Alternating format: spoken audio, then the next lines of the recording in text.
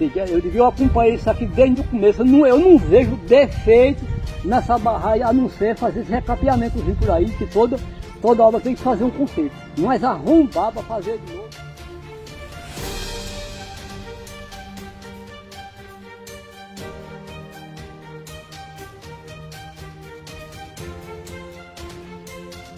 Isso aqui é minha, planta vazando, a coisa mais rica do mundo, batata, feijão, capim, tudo tinha assim.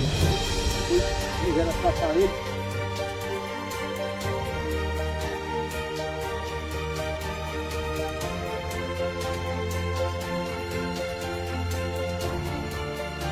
Passou dois dias para 100 dias, ele inaugurou aí, já feita, né?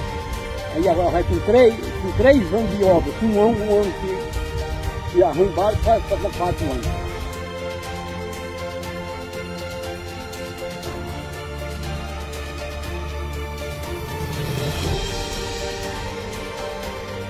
Qual a previsão para ir, sabe, perguntar, então daqui para 2026 nós queremos.